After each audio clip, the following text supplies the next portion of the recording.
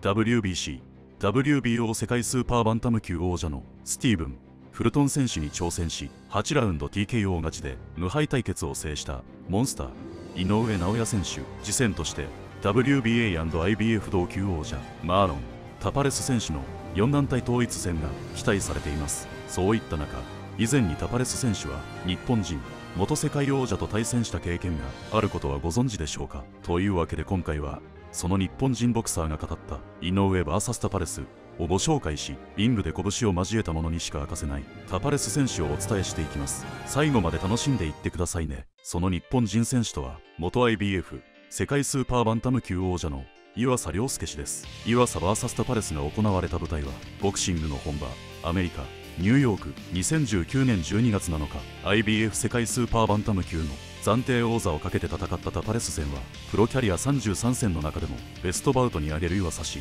彼は今年6月33歳で現役引退を正式に表明し現在は運送業などの事業を始めているといいますが今でもその時のことを鮮明に覚えているそう。当時と今のタパレスは少し違う。と前置きした上でリングで向き合ったナイトメアタパレス選手の戦いぶりを振り返りました。基本的に引いて待つタイプで距離の取り方空間支配がうまい。常にカウンターを狙っていたと思います。例えるならいつも後出しじゃんけんしてくる感じ。先に僕が手を出してからそれに合わせて違うパンチを出してくる。それでいて前に出てくるときはパワーがあるし独特のタイミングで打ってくるんです。サウスポー同士の戦いとなり右ジャブの差し合いでは岩差しが優位に立っていたものの想定を超えるパンチがあったといいます。タパレスの右フックは見えにくい角度からいきなり飛んでくるんです。しかも思った以上に伸びてくる。ジャブの距離よりも長いフックが飛んできますからこっちがプレッシャーをかけている時もタパレスは何かを狙っている感じがしていました。嫌な空気感を持っているんですよ。するとフェイントを入れて予期しない角度からアッパーを突き上げてきてこれを狙っていたのかって普通はあの位置あの角度からなかなか打てない見えないんですよここから打ってくるんだと思いましたと明かしましたまた当時のタパレスはスタミナがなかったのでただこっちがペースをつかんでいてもなかなか勝負に行けなかったずっと危険な雰囲気を醸し出しているのでディフェンスもうまいんですよあまりパンチを当てさせてくれなくてミートもさせてくれない危機管理能力は高いと思いますうまさではなくボクシングのうまさを感じましたとタパレス選手を評価します。その後も岩佐氏はタパレス選手の試合にある程度注目していたといい IBF 世界スーパーバンタム級挑戦者決定戦で勅使河原氏を2ラウンド KO で下した一戦では改めて見えないパンチに舌を巻いたそうあの右は見えないよねと思いました。テシとはスパーリングもしましたし仲が良くて飲みに行く間柄なんです。でも僕はタパレスを応援していました。やっぱり自分が戦った選手は負けてほしくないので同じボクサーならこの気持ちは分かってもらえると思います。テシ本人にもそれを伝えるとそうですよねと言っていましたからアフマダリエフ選手には5ラウンド TKO 負けを喫している岩佐氏複雑な気持ちで見守っていたというタパレス VS アフマダリエフを次のように振り返っています。正直ムロジョンが勝つかなと思っていましたがタパレスにも簡単に負けてほしくなかった。もちろんムロジョンにも負けてほしくなくてドローくらいで良かったのかも。結果的に競った試合になり判定は2対1でタパレス。彼は僕に負けて変わったんでしょうね。ハイライトの映像で見る限り課題だったスタミナフィジカルを改善し序盤からガンガン攻めていました。もしかすると前半に様子見していたムロジョンには慢心があったかもしれないです。あれはアップセットきっと経験を積んで柔軟性が出てきたんだと思います。引いても前に出てもどちらでも戦える。ここが昔と今の違いかなと。それでも井上選手との勝敗予想を尋ねられると岩佐氏は苦笑を浮かべながら井上選手には勝てないでしょう。早いラウンドでの KO 決着になると思います。タパレス側から言えばかなり厳しい戦いになるのかなととコメント番狂わせが起こるとすればという質問に対してもムロジョンのようにタパレスを舐めた場合ですかねでもそれもないのが井上選手なのでだから強いんです。徹底しているんだと思います。と話しました。タパレス選手が勝利する展開はとても考えられないという噂しそんなタパレス選手を11回 TKO で沈めて IBF 世界スーパーバンタム級。暫定王座についた岩佐氏はあるビジョンを持っていたといいます。2団体統一王者となったムロジョン。アフマダリエフに勝ち日本のベルトを持って井上尚弥選手を待つ青写真を描いていたんです。まさに現在のタパレスの位置にいるつもりでしたが僕がムロジョンに負けてしまったのですっきり引退した今は悔しさが込み上げることもなければ嫉妬を覚えることもないですけどね。同階級で2度世界王座についたプライドは持っているもののモンスター井上選手の強さにはただ感服するしかないという噂し井上 VS フルトンについても彼は実際リングで見るとフルトンよりもでかく見えました。もともとの筋肉が大きいんだと思います。計量時は1回。水を抜いて絞った。状態なので小さくなりますがリカバーした後は元の大きさになりますから。正直身長差はほとんど感じなかったですね。とフルトン選手の前に立つモンスターの体に驚いたと言います。また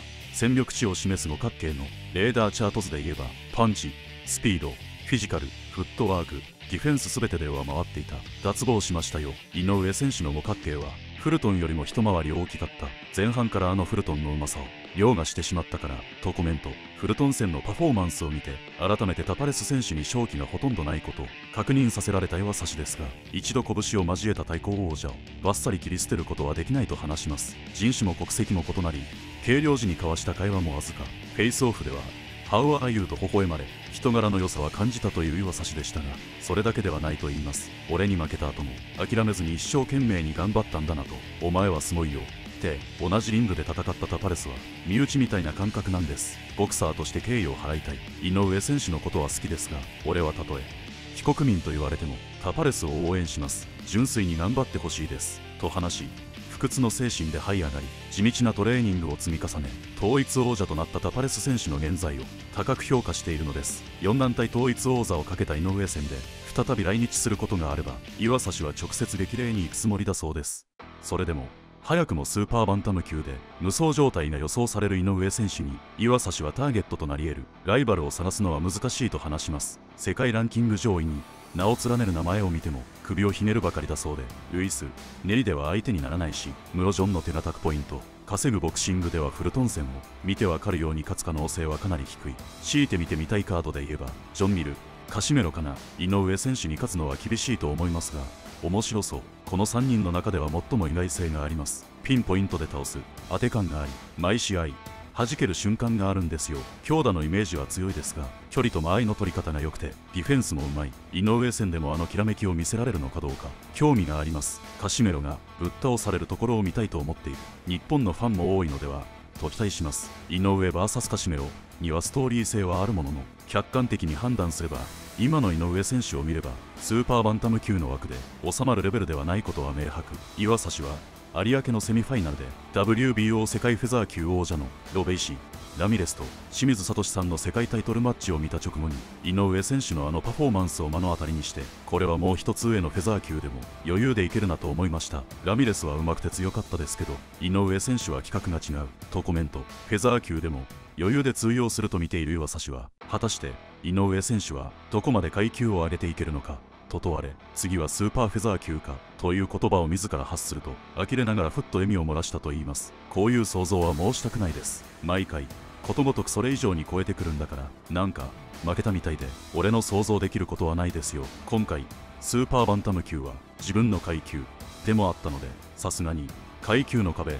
をそろそろ感じるんじゃないのかなと思っていたのですがあの結果です。と語り考えが及ばないほど突き抜けていく。モンスターへの見方が変わったという噂し最終的には願望を込めて世界6階級制覇を果たしたマニー・パッキャオ氏のように伝説になってもらいたいという彼は次のように期待を込めました。全世界のスーパースターになり100億円くらい稼いでほしい。ライト級では知る。ロマチェンコに挑むとか一番見たいのは異端のジャーボンティ・デイビスとの試合かな。166センチの身長でライト級でもバンバン倒していますから現実的に考えればありえないことだとは思っています。でも井上選手の場合これまでも想像を超えてきているからこの先何が起きてもおかしくないですよね。岩差の指摘通りタパレス選手を倒しての2階級4団体統一に止まらずさらなる高みへ行くことも想像に難くない。モンスター実際最近になって井上選手に本場アメリカへの再上陸プランが浮上しています。アメリカ専門メディアプロボックステレビは井上とタパレスが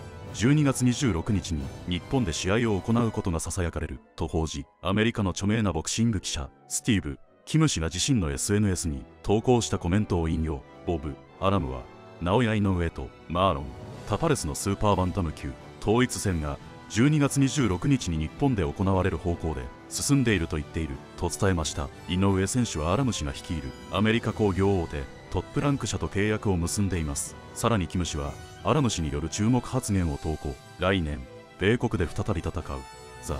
モンスターについてアラムは彼はここで戦いたいんだと繰り返した。特裁井上選手は WBA&IBF 世界バンタム級王者であった。2021年6月ラスベガスで試合を行いマイケル・ダスマリナス選手に TKO 勝ちを収めています。来年にアメリカでの試合が実現すれば約3年ぶりの再上陸となります。同メディアは井上が日本で試合をすればかなりのテレビ視聴率を獲得し常にスリリングなファイトを展開する。井上が米国に戻るということはマニー・パッキャオのように世界的なアイコンになることを視野に入れているのかもしれないと指摘しました。一方限りなく低い。下馬評を受け続けるタパレス選手フィリピンの大手放送局 ABS、CBN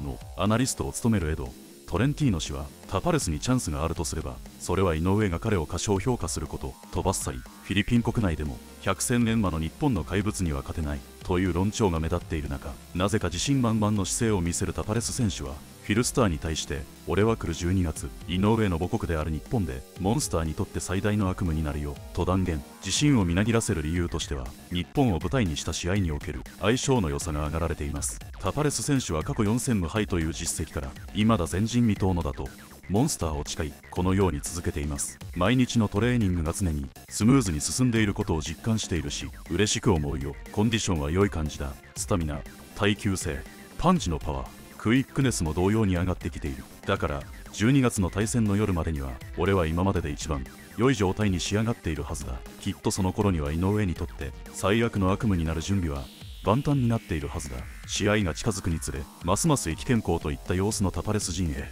プロモーターを務めるアメリカ大手 MP プロモーターのショーンギボンズ CEO もマーロンはどんなにチャンスが少ないと見られていても決して諦めない。彼はどんな状況でも戦うよ。ここから試合に向けてアジャストし決して恐れない。彼はモンスターに襲いかかるだろう。と絶賛大一番に向け太鼓判を押しているのでした。またタパレス選手は現地8月24日ラスベガスでの合宿を開始する前にもインタビューに応じていてそこでは井上選手へのリスペクトを語りつつもモンスターにも悪夢を見せるという。意気込みを隠そうとはしませんでした。まず井上戦決定直前の今となった。率直な気持ちを聞かれたタパレス選手はエキサイトしていますよ。私にとって重要な機会です。4団体統一王者になることこそが全てのボクサーにとって究極の目標。こういった試合ができるの。ずっと待ち望んでいたしリング上で全てを出し尽くすための準備はできています。と意気込みます。また井上選手の評価に関しては井上の2 3試合の映像をじっくり見ています。すごい選手ですね。技術的に優れたボクサーですしもちろんパワーもあります。ムーブメントが素晴らしく頭のいい選手でもあります。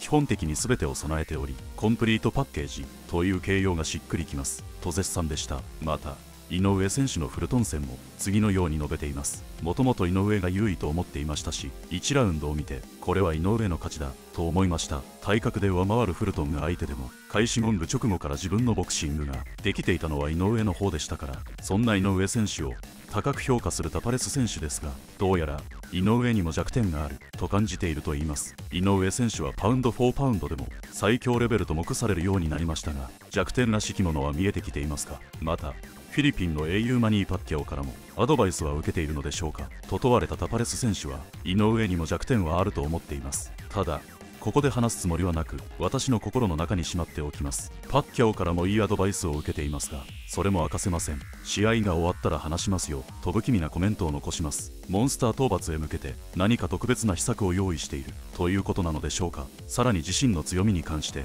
自信があるのはハートです。私もパワー。スピードディフェンスを備えているという。自負がありますがハートの強さがなければパンチの強さは役には立ちません。心が強いからこそパンチを当てた際に相手にダメージを与えられるのです。と明かしました。ご存知の通りタパレス選手は前線のムロジョン。アフマダリエフ戦で番狂わせの勝利を収め多くのボクシングファンや関係者を驚かせました。タパレス選手はあそこまでいいボクシングができたことはサプライズだったのかと尋ねられるとあの試合であなたは驚いたんですかと切り出し私の中ではサプライズでも何でもないですよなぜなら私は年齢を重ねてよりいいボクサーになれているという自信があったからアフマダリエフも優れたボクサーですが試合前から言っていたのは彼にはスタイルがあるが私には経験があるということ。これまでの蓄積をあの試合で見せられたと思っています。と冷静に語ります。加えて私は毎日学校に通っています。私のスクールとはボクシングジムです。学校に通い勉強をし続けることで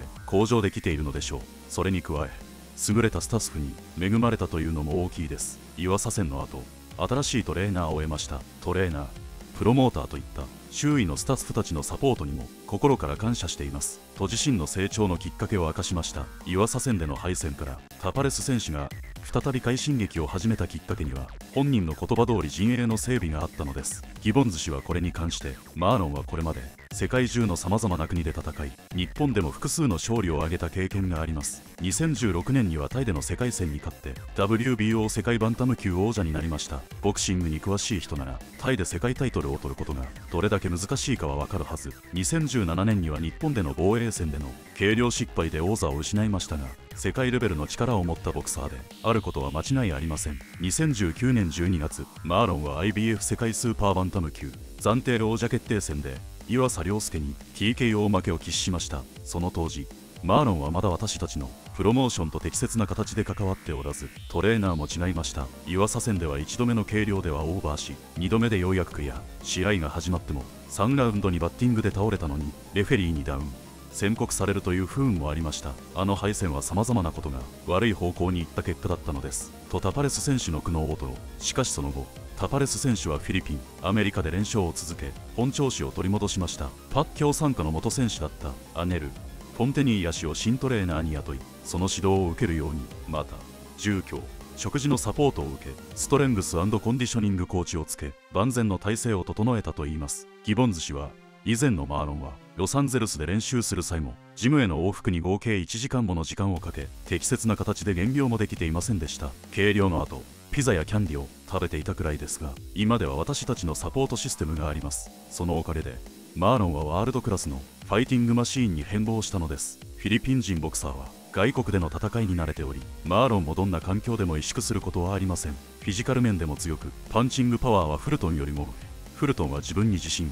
持っていませんでしたがマーロンは井上が相手でも勝てると思ってリングに立つはずです。とその強みを明かしています。タパレス選手自身完全アウェーとなる。井上戦の日本開催には意を介していないそうで私の戦績を見ていただければわかると思いますがこれまで世界中のさまざまな場所で戦ってきました。そんな経験を積んできた私がキャリアのこの時点で敵地での戦いを必要以上に心配したりはしませんよ。とコメント。また井上選手という最強の相手とリスクの大きな試合を行う前に小視力の劣る挑戦者との防衛戦を差し挟もうとは考えなかったのかという質問には全く考えませんでした。私はチャンピオンなのです。王者は最強の相手と戦ってこそ王者。井上こそが世界最高級のファイターでありアフマダリエフに勝った私は彼と戦うためのチケットを手に入れたのです。迷いなどありませんでした。私は誰のことも恐れません。私が怖いのは家族を養えなくなることだけそれ以外に怖いもの怖いことなんて何もないのです。アフマダリエフ戦に勝って